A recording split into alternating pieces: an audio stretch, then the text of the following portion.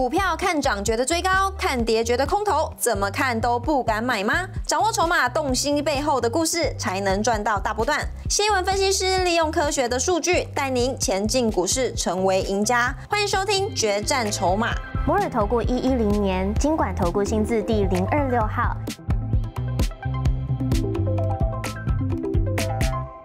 所有的听众，大家好，欢迎准时收看《关键筹码》。你好，我是谢一文。现在录音的时间是下午的礼拜五下午的十二点三十三分。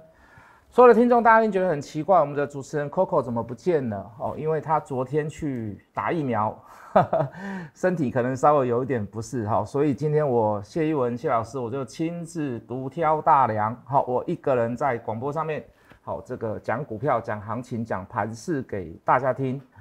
好，那今天有点属于这个比较开高走平的状况。那基本上初步的可以看起来，就是说对这个乌俄战争就指数来看，好像有点止稳。好，那当然还是会有一些所谓的风险，还是会有一些所谓的不确定因素在。好，并不是大家所认为的，反正拉回就是买，拉回就是买，拉回就是买，要一定有条件呐。好，要有个股的条件。好，个股你一定要势必的好的条件在，你才可以这么做。好，所以各位就大部分的股票来讲。就像我们昨天在这个节目当中跟大家所提到，就是说有一些股票，你是不是应该要先做一个所谓的挥泪斩马谡的动作，哦，或者是说你应该要先呃做一个停损的动作，哦，或者是停利的动作。那这个停损听起来这个非常的刺耳，好，你会觉你会有一个感觉，就是说，嗯，老师你是不是看坏这个行情？老师你是不是看坏这个大盘？老师你是不是看坏这一场战争？好，事实上不然呐。我们说过了，里面的这个非客观，我们没有办法所控制的因素很多，好，所以我们会暂时做一个所谓的离场的动作。原因在于哪里？好，并不是叫各位说我们停损完了以后就没有希望，我们就全力来做空，不是。是如果你现在卖掉十张，你未来的价格可以买回十二张或者是十五张，这不是一件非常美好的事吗？懂我的意思吗？现在最大的问题在于哪里？现在最大的问题就在于那个所谓的不确定因素嘛。所以你会看到行情会震荡，会非常的大。好，有一些股票，既然会有低点产生，或者是以目前来讲，法人不会去进驻，甚至于护盘也用不到它，也不会用到，也不会护到它。那请问你，你还在期待什么？懂我的意思吗？好，比如说我们像这一波战争里面，呃，就这个乌二方面，你黄金、呃原油、镍、铝。你的供应量下滑，你你的价格会不会上升？你会不会造成另另一波所谓的原物料价格上涨？你会不会造成所谓的这个通膨？对不对？这都是很忧虑的事情啊！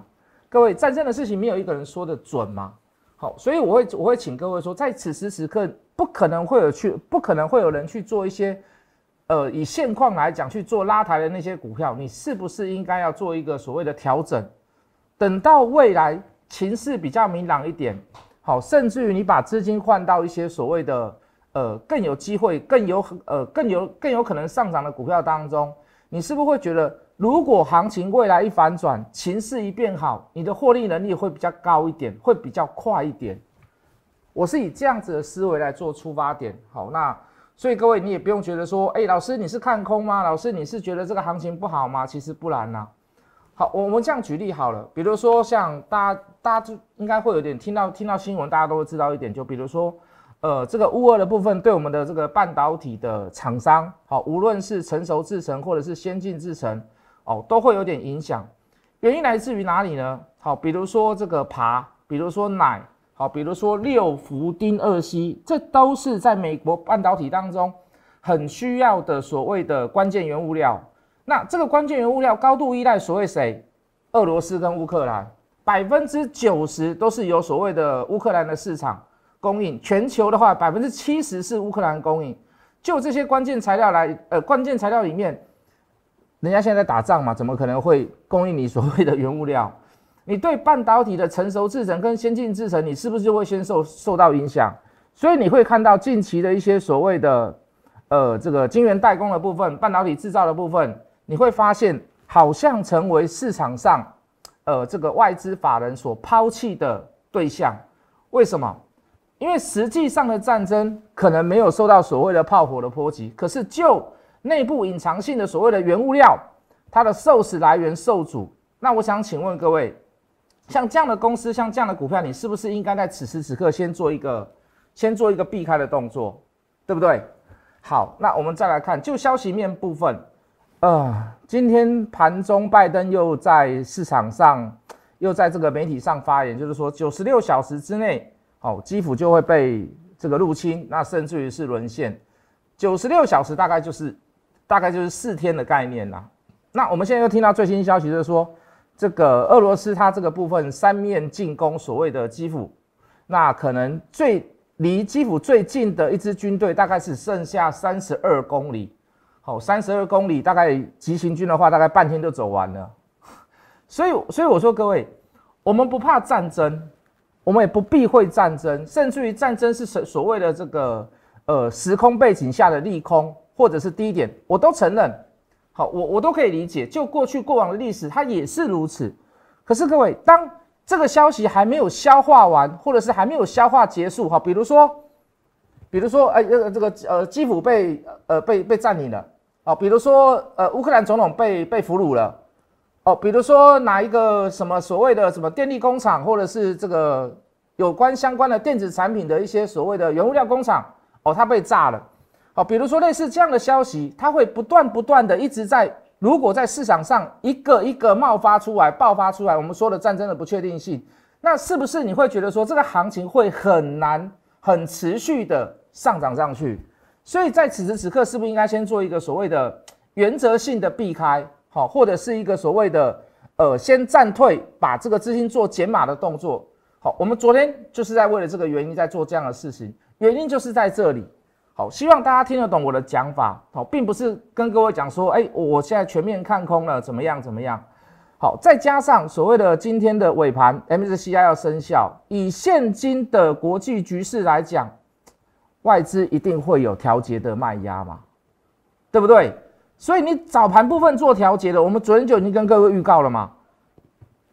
其实就是该做什么就做什么啊，就这么简单啊。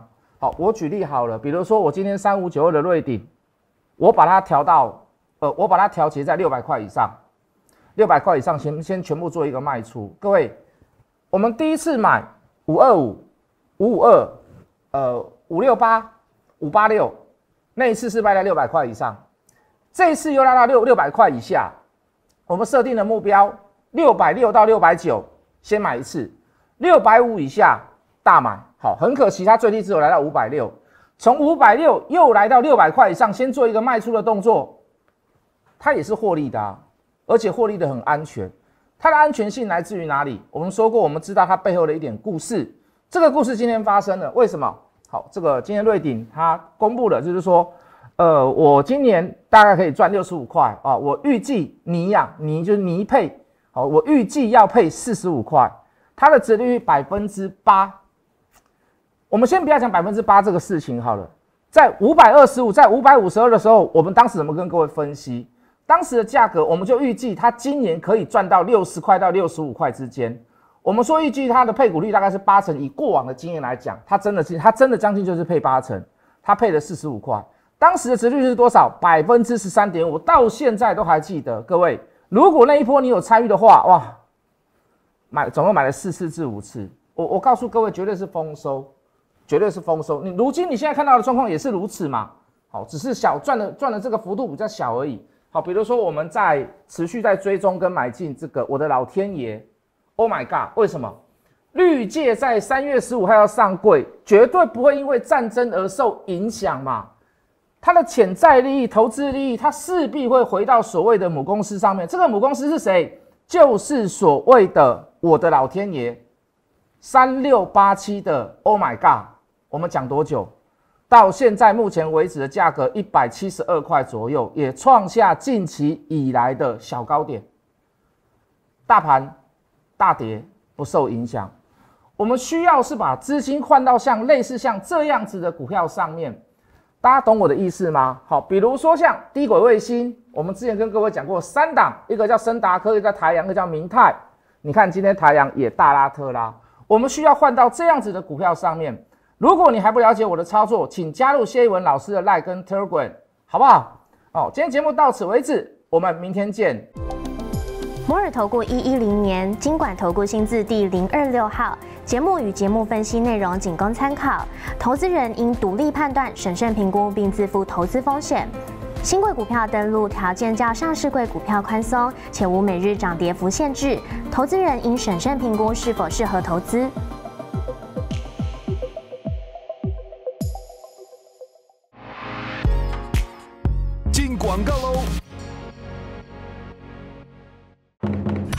且慢，奴婢先用银针测试食物有没有毒。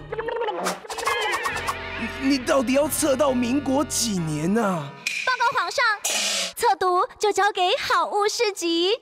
好物市集的商品有产销履历把关，有国家认可检验单位检定，有投保产品责任险，有把关，有检定，有责任险。您在乎的，我们比您更在意。立即上好物市集零二二三六二一九六八。想摆脱散户的命运，跟着老师一起赚大波段吗？加入老师的 Light 小老鼠 Hot Money 八八八，小老鼠 H O T M O N E Y 八八八。谢一文老师掌握筹码趋势，运用独家工具带你了解大户操作的模式，不用费力研究股票，跟着老师轻松赚，把握农历年前赚红包行情，卡位限量名额，快拨打零八零零六六八零八五零八零零六六八零八五，改变命运就趁现在。